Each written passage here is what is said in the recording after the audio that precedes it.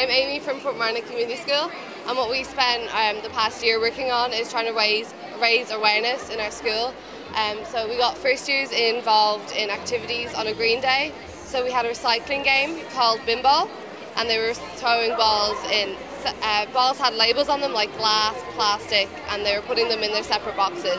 And they got a bit competition going, and it got a bit heated at sometimes, but they really liked that kind of stuff. We've also introduced um, recycling bins in each classroom. So every week, um, a member of the uh, Green Schools Committee would go around and collect the bins.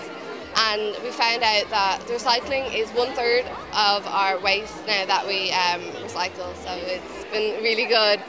The recycling has grown very gradually over um, the year. We were I'm about once or twice a week um, now, and before it was about once or twice a month. So, and the teachers are really um, excited about what we're doing. They're like, when the bins getting collected and stuff.